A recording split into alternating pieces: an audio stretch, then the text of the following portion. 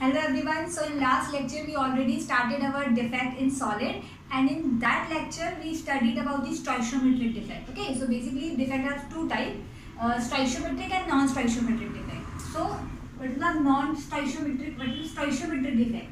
So stoichiometric defect are the defect where defect arises in such a way that the stoichiometry of the molecule will not disturb or the compound will not disturb. The stoichiometry will not disturb.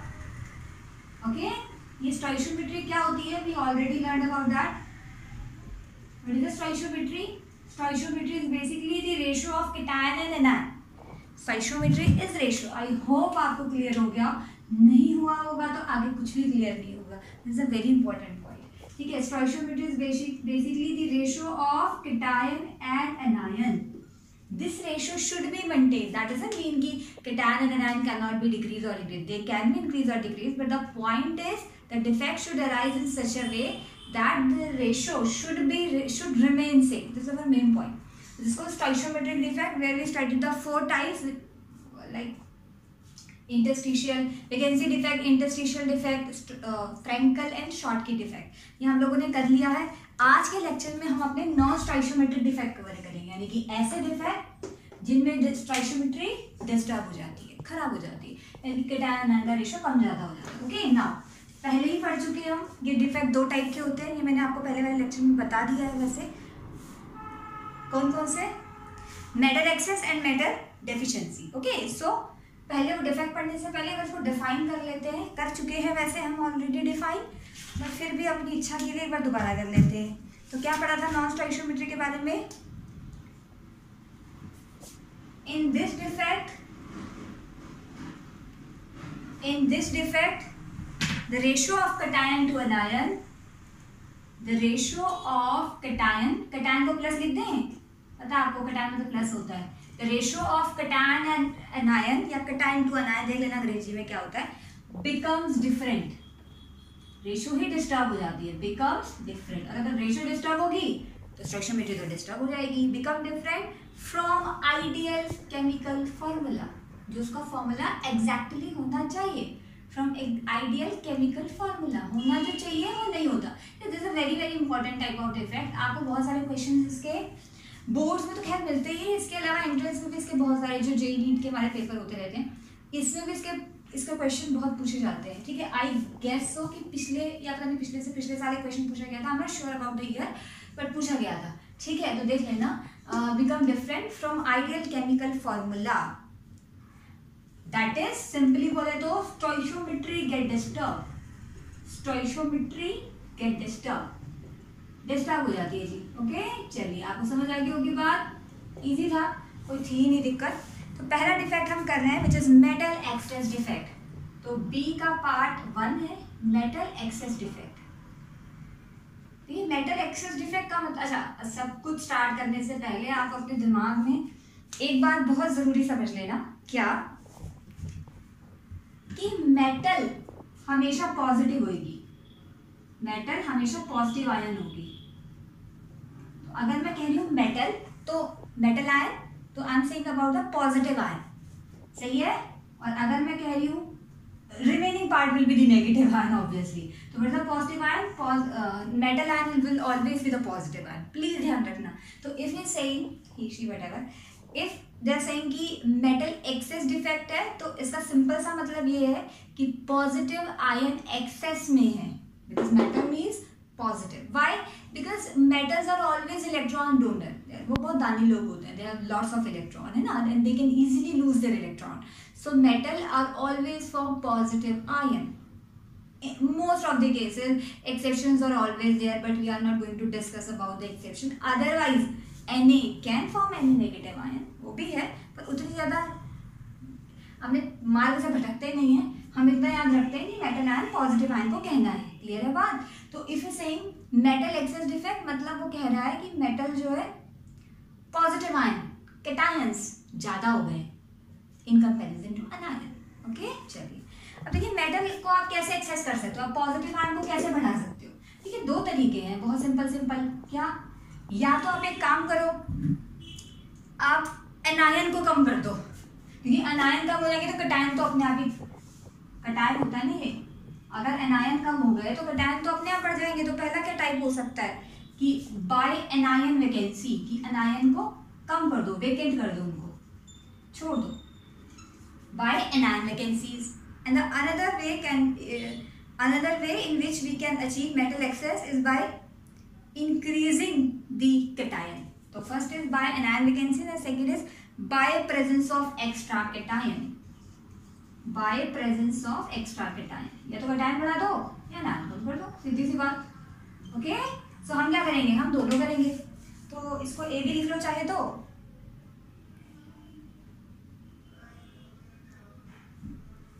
A and B सबसे पहले discuss करते हैं।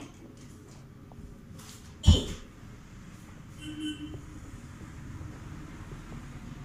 Bye anion vacancy देखिए, होता क्या है इसमें? पहले मैं आपको चित्र बना के दिखा देती हूँ। बोलते तो डायग्राम आपको डायग्राम बना के दिखा देते हैं। आपको डेफिनेशन की भी ज़रूरत नहीं पड़ेगी। आपको सब समझ आ जाएगा। देखिए सपोज़ कीजिए सपोज़ क्या करना है? ही हमारे पास। हमारे पास ये ए कटायन है और बी एनायन है। तो ए कटायन बी एनायन तो ऐसा चल रहा है काम। ठीक है तो इसको पहले बोले ही बना लेते हैं। ये हमारे बोले अब हमें पता है क्या होता है? Plus minus plus minus alternate चलता है। चलता है कि नहीं चलता है? ठीक है तो A positive B negative anion vacancy था। एनायन कम है। तो मान लीजिए कि यहाँ से एनायन गायब है। मान लीजिए।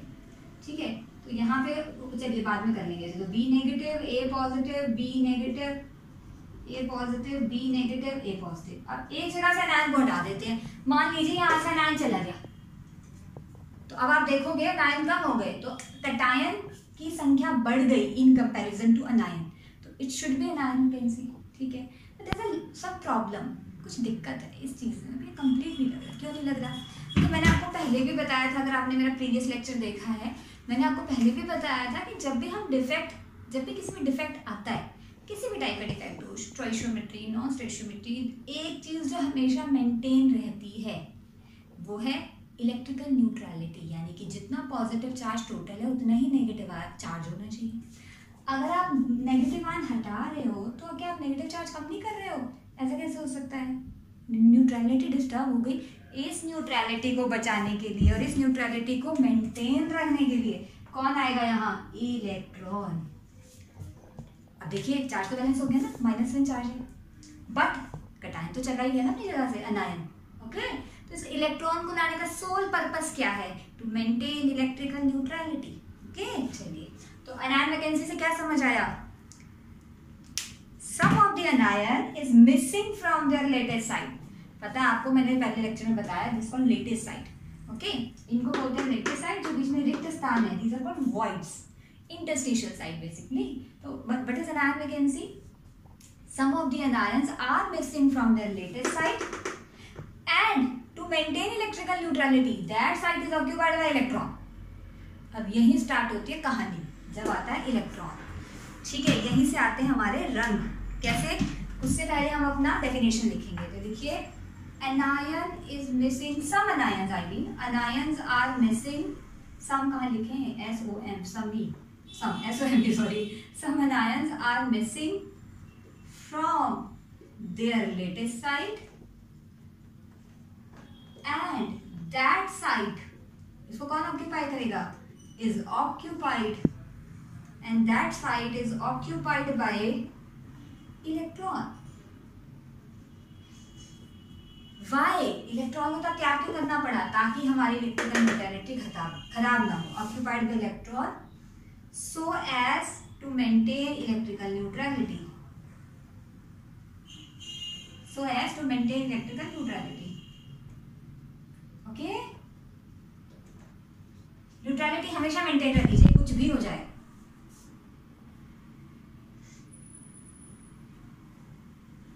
अब यहाँ जहाँ आपका इलेक्ट्रॉन आया है, इस सेंटर को क्या कहेंगे? इस सेंटर को कहते हैं एफ़ सेंटर सोचने वाली बात है, ये एफ़ क्यों कहा? ए बी सी डी कह देते ई e कह देते E for electron U for E E center कह देते। एफ़ सेंटर क्यों कहा? वो इसलिए क्योंकि किसी भाषा में, मुझे नहीं पता कौन सी भाषा है, ग्रीक है आई गेस जर्मन है आई एम नॉट श्योर ठीक है? किसी भाषा में एफ़ बोले तो फारबे होता है फारबे आई गेस मैं सही प्रोनाउंस कर फारवे फारवे का मतलब होता है कलर तो एफ़ सेंटर क्यों बोला? क्योंकि किसी भाषा में फारवे मतलब कलर होता है तो इसको कलर सेंटर बोला है तो लिखिए this site where electron is present where electron is present is called F center. Y तो लिख लीजिए Y Y called F center तो लिखिए Y के नीचे क्यों कहते हैं? बिकॉज़ F बोले तो F फारवे से लिया गया है फारवे और फारवे का मतलब होता है ओके okay? because लिखिए because this electron is responsible for color कैसे because this electron is responsible for color अब ये कैसे हो गया जी देखिए होता क्या है आपने अपनी ग्यारहवीं कक्षा में पढ़ा होगा आ, कौन सा चैप्टर रहा होगा वो चैप्टर टू रहा होगा। स्ट्रक्चर ऑफ़ एटम में आपने बहुत अच्छे से पढ़ाया गया आपको कि जब आप किसी को एनर्जी देते हो एटम को आई मीन उसका इलेक्ट्रॉन एक्साइट होकर हाइयर एनर्जी लेवल पे जाता है। इस प्रोसेस को कहते हैं एक्साइटेशन इस दौरान वो कुछ एनर्जी को एब्जॉर्व करता है और जब वो वापस आता है तो उसी एनर्जी को एमिट कर देता है। तो इस एक्साइटेशन डी एक्साइटेशन की वजह से कलर जनरेट होते हैं। जब इलेक्ट्रॉन एनर्जी एब्जॉर्ब करता है, या फिर जो एब्जॉर्ब करता है, उसको एमिट करता है। अब वो डिपेंड करता है कि एमिशन स्पेक्ट्रा चल रहा है कि एब्जॉर्प्शन स्पेक्ट्रा चल रहा है, वो तो अलग कहानी है but please note this point कि इलेक्ट्रॉन की एक्साइटेशन से कलर जनरेट होते हैं।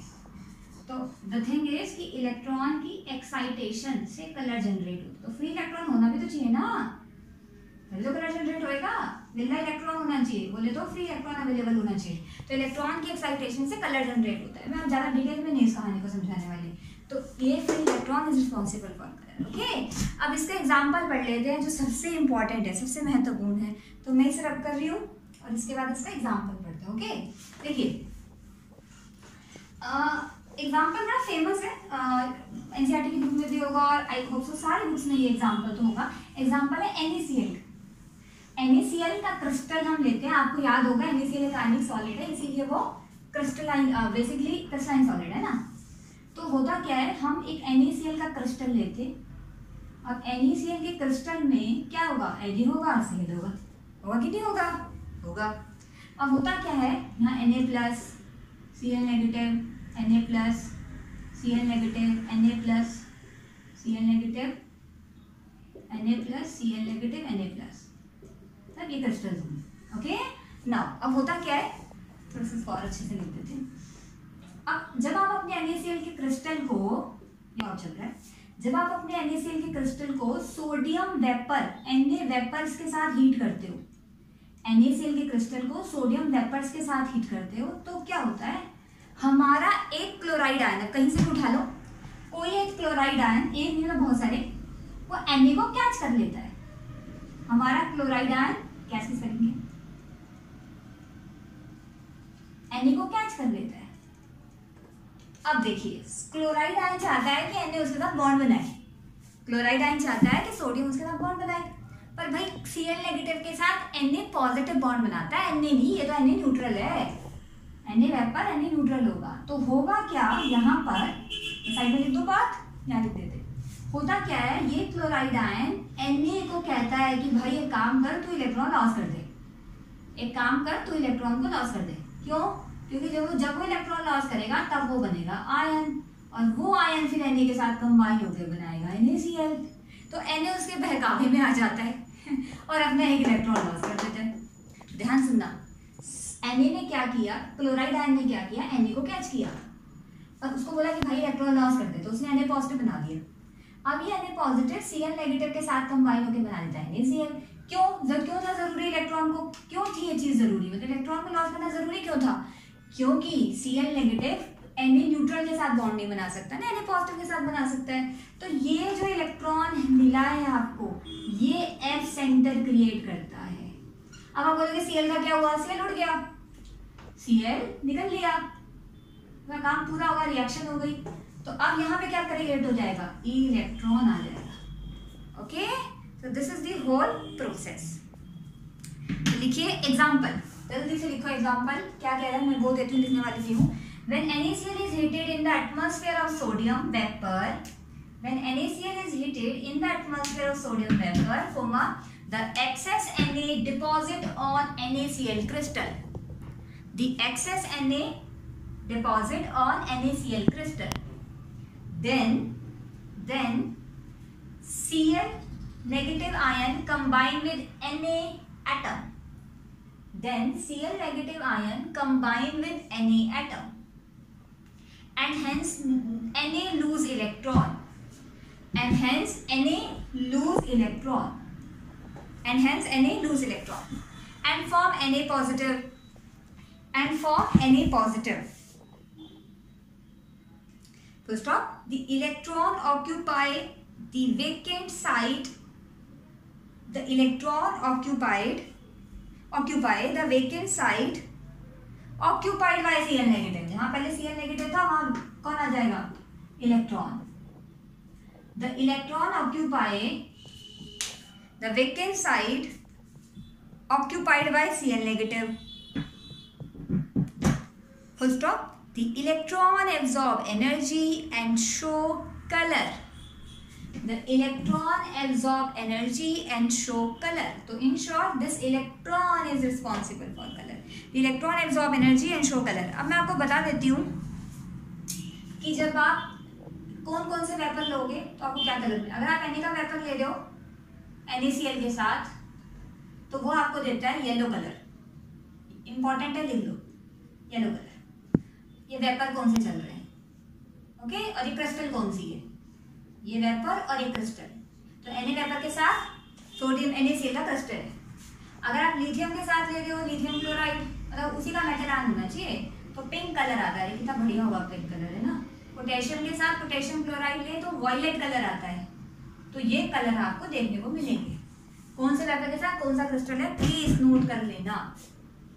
पूछ सकते हैं। एक मार्क्स से पूछा जाता है, बहुत सरल सा क्वेश्चन होता है कि वाई NaCl इज़ येलो तो वाई इट इज़ येलो तो in a short form NaCl is yellow because it has a F center, because it has an electron, and the color is due to that F center. Okay, चलिए। Next we have भाई, ये बात तो हुई कि आप N vacancy कर दो। दूसरा है कि आप कटायन को बढ़ा दो। तो मैं से कर रही हूँ। दूसरा तरीका क्या था हमारा? मेटल एक्सेस करने का कि आप कटायन को ही बढ़ा दो। कटायन तो मेटल होते हैं। ठीक है? तो लिखिए। ए का ए का सेकंड है। नहीं बी का सेकंड है। ए का सेकंड है ये सेकंड का है। चलो, जो भी है। समझ गए ना? मेरी बात में नंबरिंग भूल गई। चलिए। By presence of extra cation अब इसमें हम क्या करते हैं? भाई एक्स्ट्रा कटायन रख देते हैं। किसी को निकालते नहीं है। हमें तो हमारा क्या करना है? कटायन नहीं करानी है तो हम एक्स्ट्रा कटायन रख देते हैं। तो suppose you have A positive B negative फिर वही बनाते हैं।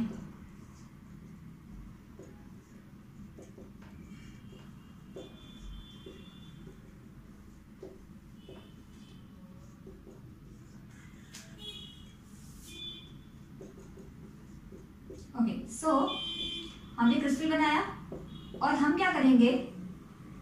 एक्स्ट्रा कोई कटायन रख देंगे। एक तो नहीं बहुत सारे रखेंगे। एक थोड़ी रखेंगे बहुत एक्स्ट्रा कटायन रख देंगे जैसे मान लीजिए कि मैंने यहाँ पे ए पॉजिटिव रख दिया और अब फिर दिक्कत हो गई। क्या दिक्कत हुई? आपने पॉजिटिव की संख्या बढ़ाई, आपने कटायन की संख्या बढ़ाई, है ना? तो इससे हुआ क्या? इससे पॉजिटिव चार्ज नहीं बढ़ गया? और अगर पॉजिटिव चार्ज बढ़ेगा तो इलेक्ट्रिकल न्यूट्रलिटी डिस्टर्ब नहीं हो जाएगी। तो इस इलेक्ट्रिकल न्यूट्रलिटी को मेंटेन रखने के लिए what we have to do हमें फिर एक किसी और जगह पर उसके अगल बगल में एक इलेक्ट्रॉन लेकर आना पड़ेगा। क्यों? ताकि इलेक्ट्रिकल न्यूट्रलिटी मेंटेन रहे। देखा जाए तो इलेक्ट्रॉन अभी भी आया है, पर वो अभी इंटरस्टिशियल साइड में आया है।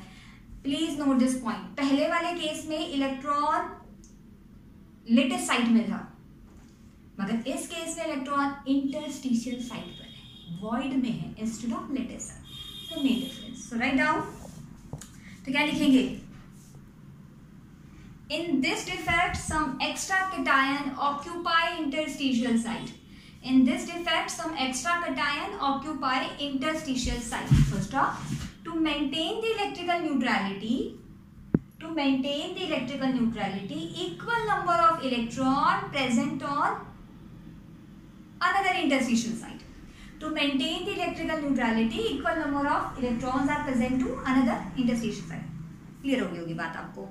ये फ्रेंकल जैसा है। फ्रेंकल में भी तो यही होता था।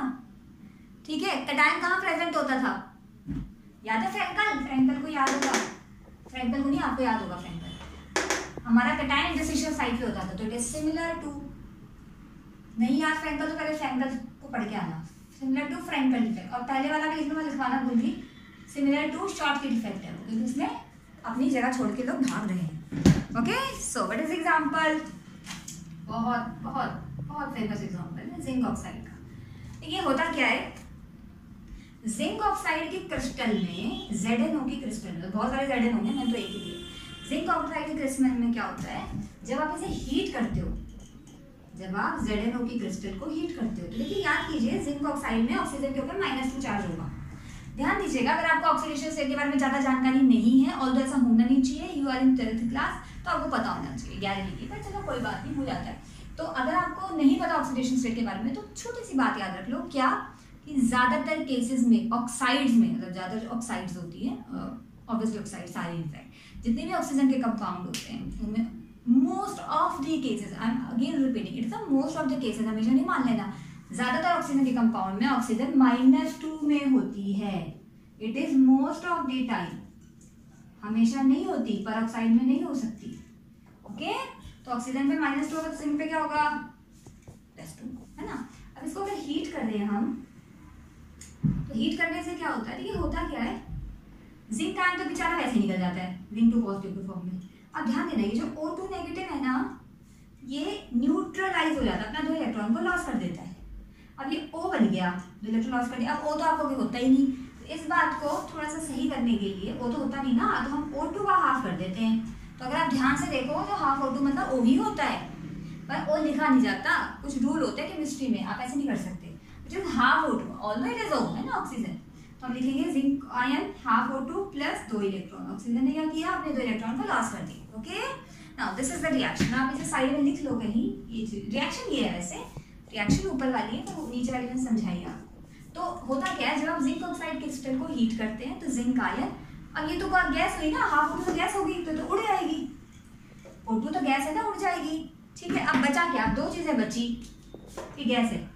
अब दो चीज़ें बची एक जिंक आयन और एक इलेक्ट्रॉन दो इलेक्ट्रॉन आएँगे तो जब आप जिंक ऑक्साइड के क्रिस्टल को हीट करोगे तो आपको जिंक आयन और दो इलेक्ट्रॉन मिलेंगे। जिंक आयन तो चले जाएँगे इंटरस्टिशियल साइड पे उसके बगल में कौन चला जाएगा? इलेक्ट्रॉन ओके लिखो when ZNO is heated it loses oxygen when ZNO is heated zinc oxide I mean is heated it loses oxygen and convert into Zn2 positive ion and convert into Zn2 positive ion.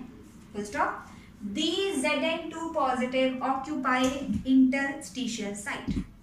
These Zn2 positive occupy interstitial site void बोले तो। Short world में void sorry interstitial site okay and electron occupy another vacant site electron occupy another void या interstitial site interstitial site शर्मा में लिखती अब एक बात बताओ, क्या ये वाले क्रिस्टल कलरफुल होंगे?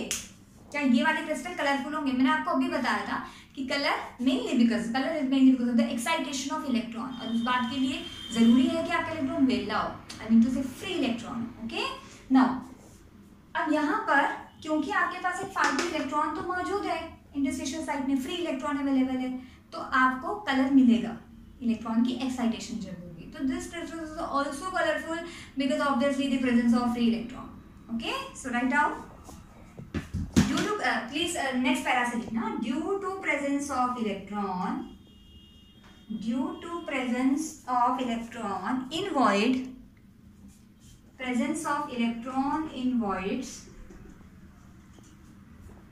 the Z, ZNO is the Z N is yellow ये भी येलो होता है। कई बार पूछा जाता है कि why Z N is yellow तो what you have to do you have to write the reaction first which is very important पहले आपको रिएक्शन लिखनी है और फिर आपको बताना है कि जी भाई जिंक आयन कहाँ गया इलेक्ट्रॉन कहाँ गया और कलर किसकी वजह से आया ओके चलिए। तो एक्चुअली क्वेश्चन है कि why Z N is yellow और मैंने इसका आंसर बता दिया। क्वेश्चन क्या हो सकता है और? क्वेश्चन ये होता है कि भाई जेड एन ओ पहले तो वाइट वाइट था। जैसे जेड एन ओ वाइट होता है जिंक ऑक्साइड क्योंकि जिंक के पास कोई भी अनपेड इलेक्ट्रॉन नहीं होता या ट्रांजिशन मेटल में सीखेंगे कि भाई क्यों जेड एन ओ कलरफुल नहीं है। In colour but on heating it acquire yellow colour okay so write down Z N O is white Z N O is white but become yellow on heating. But turn yellow. But turn yellow on heating, okay? क्योंकि heating ही ना हो तो ये reaction तो होगी ही नहीं।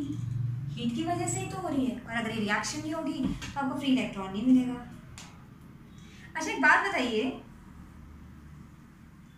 Electrical conductivity पे क्या फ़र्क पड़ेगा? इस डिफेक्ट का इलेक्ट्रिकल कंडक्टिविटी पे क्या फ़र्क पड़ेगा? ये पहले वाला जो डिफेक्ट था हमारा, कौन सा? मेटल एक्सेस नहीं सॉरी अनामिक इस डिफेक्ट का कलर पे क्या फ़र्क पड़ेगा? सॉरी कंडक्टिविटी के फ़र्क पड़ेगा। ठीक है कंडक्टिविटी फ्री इलेक्ट्रॉन की वजह से होती है। कंडक्टिविटी क्या होती है? फ्री इलेक्ट्रॉन की वजह से। पता है बात? पता है।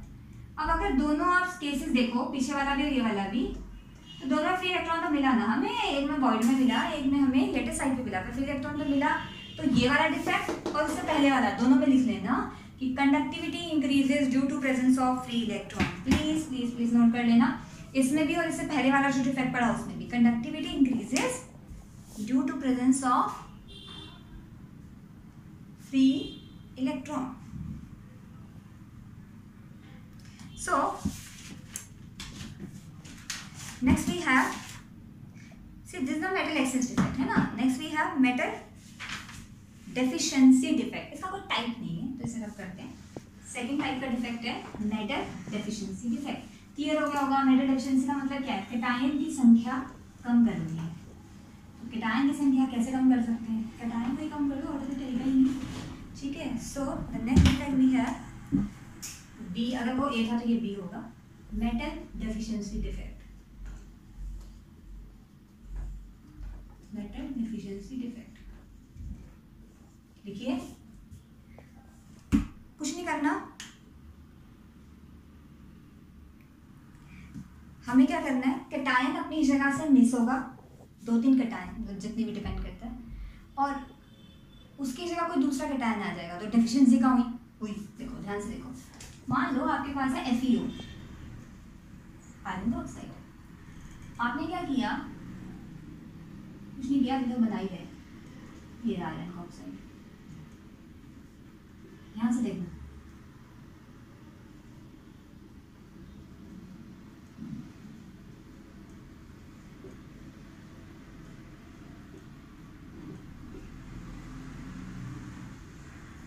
एफ़ के ऊपर प्लस टू चार्ज होता है? क्योंकि ओ के पास माइनस टू होता है। अब होगा क्या यहाँ पर? मान लीजिए आप इस एफी को गायब कर रहे हैं। एक एफी आपने यहाँ से हटाया मान लेते हैं एक एफी आपने यहाँ से हटा दिया। दो एफी हटा दी ठीक है? मान लेते हैं आपने दो एफी हटा दी ओके नाउ दो एफी से तो काम नहीं चलेगा। हमें तीन एफी हटाने पड़ेंगे। तीन एफी हमने हटाया तीन एफी हटा दिए। अगर आप ऐसा करते हो, तीन क्यों हटाया आपको बताऊँगी। अगर आप ऐसा करते हो तो आपके पास टोटल प्लस सिक्स चार्ज की कमी आ गई। प्लस सिक्स पॉजिटिव चार्ज कम हो गया, है ना? तो इसको कैसे मेंटेन करें? टाइम तो भगा दिया आपने अगर उसका चार्ज कौन, कहाँ से लाएँगे? हमने कहा कि काम करते हैं आयरन को ही लेकर आते तो फिर आयरन को ही लेके आते तो फ़र्क क्या है? आयरन को लेकर आएँगे, मगर हायर ऑक्सीडेशन स्टेट वाले आयरन को लेकर। तो हमने क्या किया? एफ़ थ्री पॉजिटिव ऐड कर दिए। मतलब एफ़ टू पॉजिटिव रिमूव किए थे और एफ़ थ्री पॉजिटिव ऐड कर दिए। ठीक है? ना अगर आपको प्लस सिक्स चार्ज बैलेंस करना है तो आपको कितने एफ़ थ्री पॉजिटिव ऐड करने चाहिए? आपको ऐड करने चाहिए टू क्यों? क्योंकि थ्री टू जो होता है सिक्स क्योंकि इसमें भी प्लस सिक्स होता है। तो जो थ्री एफ़ आपने हटाए हैं टू पॉजिटिव उसकी जगह आपने टू एफ़ थ्री पॉजिटिव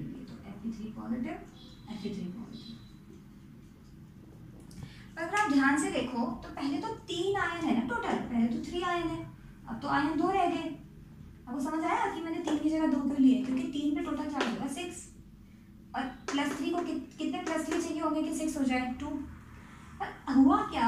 आपने तीन की जगह दो एटम कर दिए ना तो एक एटम की जगह खाली नहीं होगी तो उस जगह पे क्रिएट हो जाएगा वॉइड या होल उस जगह पे क्रिएट हो जाएगा वॉइड या होल ओके तो आप इतना तो समझ गए होंगे कि इसमें some cations are missing from their lattice site दोबारा करो।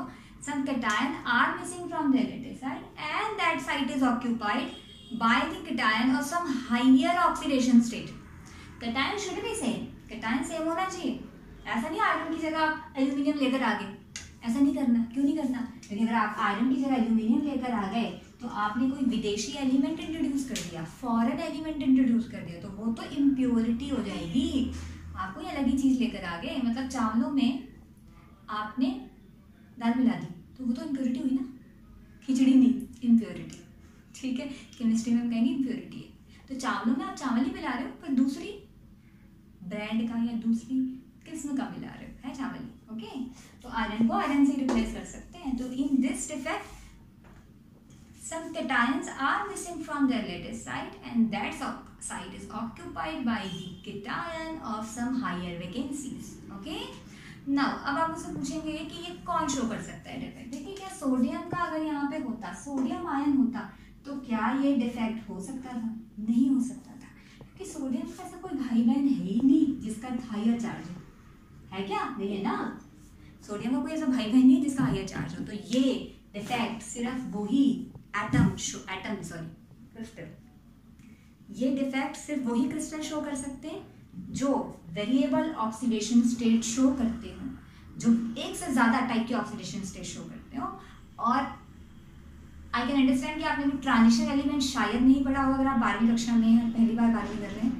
तो आप प्लीज़ याद रखिए कि जो ट्रांजिशन एलिमेंट होते हैं D block element basically all दो D block and transition element are little little different but चलिए काम चलाने के लिए कह सकते हैं? ट्रांजिशन एलिमेंट ये डिफेक्ट शो करते हैं।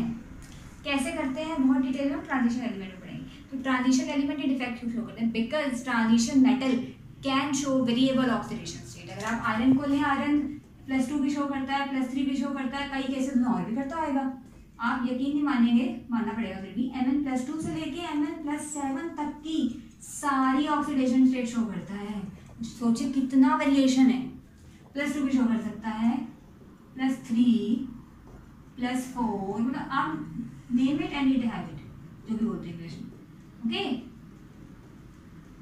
ये सारी ऑक्सीडेशन स्टेट मैंने शो करता है ट्रांजिशन एलिमेंट है transition element show large variation in the oxidation state इसलिए वो डिफेक्ट शो कर पाते हैं ओके चलिए फिर लिखते हैं अपनी कहानी।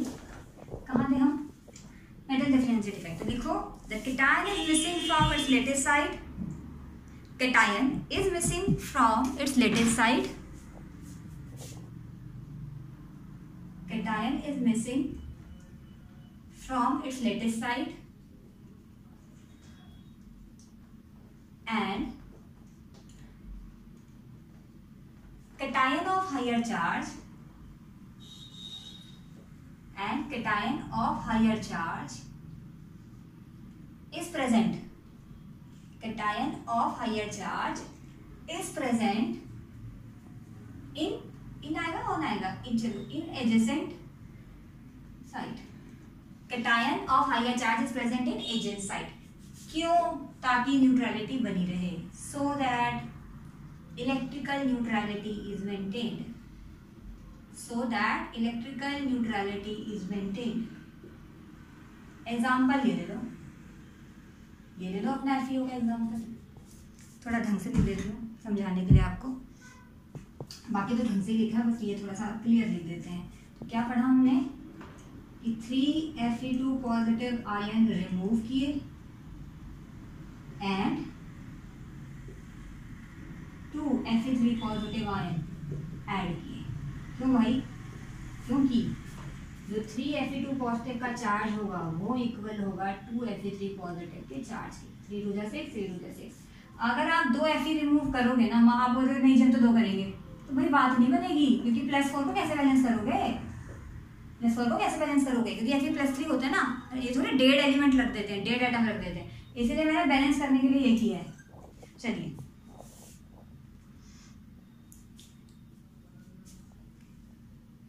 अच्छा एग्ज़ाम्पल एक तो एग्ज़ाम्पल ये हो गया। तो लिखिए एग्ज़ाम्पल जैसे आप चित्र बना चुके हैं, पर फिर भी एग्ज़ाम्पल फ़र्स्ट एफ़ यू लिख लो इसमें सम इंपॉर्टेंट है, बहुत इंपॉर्टेंट है. Some F two positive ion are replaced by और कितने? वो यहाँ लिखा है मैंने are replaced by F three positive ion एक और एग्जांपल है निकल ऑक्साइड एन आई निकल भी ट्रांजिशन एलिमेंट होता है. निकल ऑक्साइड इसमें भी सेम होता है। N two positive N three positive से रिप्लेस होता है। ठीक है, ये अपना प्लस वन से होता है। बट जो भी है रिप्लेस होता है। Okay now important important note क्या करना है? नोट ये, अब ये जो चीज़ मैं आपको बता रही ना, ये सबसे ज़्यादा इम्पोर्टेंट है। इस पूरा जो टॉपिक मैंने आपको बताया ना अभी मेटल डेफिशिएंसी वाला, भाई ये हद इंपॉर्टेंट है, सबसे ज़्यादा इंपॉर्टेंट है। इसी में से क्वेश्चन आया था, किसी एग्ज़ाम में। क्वेश्चन क्या था? क्वेश्चन तो पता नहीं क्या था पर इम्पोर्टेंट क्या है? This defect is only possible when metal can show variable oxidation state. This defect is only possible when metal, this defect मतलब non stoichiometric defect है वैसे, when metal can show variable oxidation state. Okay? Therefore, transition metal form this defect. Show show forming show. Show this defect. क्योंकि वो variable oxidation state show करते हैं। Question शायद ये आया था कि which type of metals to show non stoichiometric defect तो ध्यान दीजिएगा ये नॉन स्टाइशोमेट्रिक डिफेक्ट ही है। ये नॉन स्टाइशोमेट्रिक डिफेक्ट ही है वैसे दूसरा तो टाइप है ये। क्वेश्चन था कि which type of element can show non stoichiometric defect तो metal can show non stoichiometric defect question लिखो एक और। दिख रहा है? क्वेश्चन है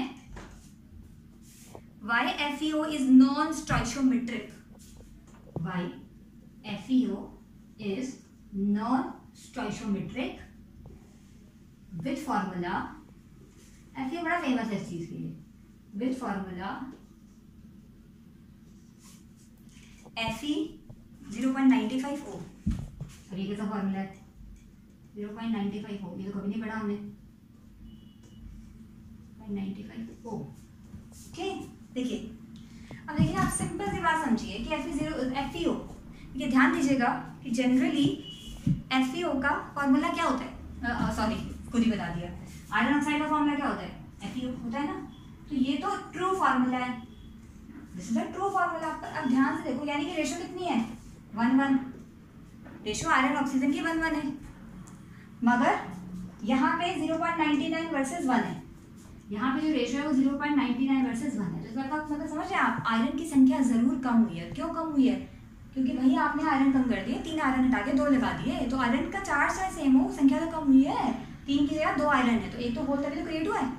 ठीक है? तो ज़ीरो पॉइंट नाइनटी फाइव होगा मतलब क्या है कि आयरन का नंबर कम हुआ है आयरन का नंबर क्यों कम होता है, याद करो, क्योंकि कुछ एफ़ पॉजिटिव एफ़ पॉजिटिव से रिप्लेस हो जाता है। तो please note this point answer it show metal deficiency defect it show metal deficiency defect and and some Fe2 positive ion and some Fe2 positive ion are replaced by Fe3 positive ion are replaced by Fe3 positive ion okay? तो ये सारी कहानी है। Okay okay. हम लोगों ने आज अपने नॉन स्ट्राइचोमेट्रिक डिफेक्ट कवर कर लिए थे। बेसिकली हमारे पास तीन डिफेक्ट हैं। स्ट्राइचोमेट्रिक पहले कर चुके हैं। नॉन स्ट्राइचोमेट्रिक आज किया। काफ़ी इंपॉर्टेंट था। और लास्ट टाइप का डिफेक्ट है इम्प्योरिटी डिफेक्ट मैं सिलेक्शन में नहीं करा रही क्योंकि फिर वो एक घंटा और लेगा कम से कम। उसे क्वेश्चन भी कराने हैं। तो उसको हम नेक्स्ट लेक्चर में करेंगे। वो भी काफ़ी इंपॉर्टेंट है। उसमें डोपिंग पढ़ेंगे।